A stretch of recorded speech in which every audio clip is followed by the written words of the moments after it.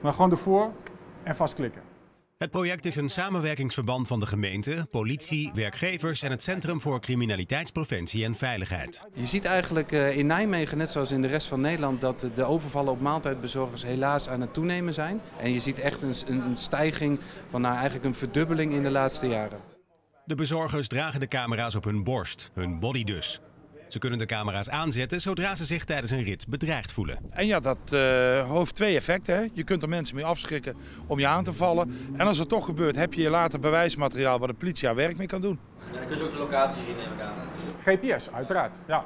Eerder waren er al proeven met bodycams in Rotterdam en Amsterdam om de medewerkers beter te beschermen. Die bleken erg succesvol. Nee, we verwachten er heel veel van. Eh, veiligheid staat op nummer 1 en eh, bodycams zijn net weer een extra stap om aan, aan die veiligheid te werken. We hebben gezien dat eerdere ervaringen dat dat werkt. Dus, uh, Moet dit niet standaard worden? Wat mij betreft wel. De proef loopt tot en met 1 mei. Als het ook in Nijmegen succesvol is, dan wordt het aantal bezorgers met bodycams in oktober, als het weer vroeger donker wordt, mogelijk uitgebreid. Gaat die bodycam het verschil maken?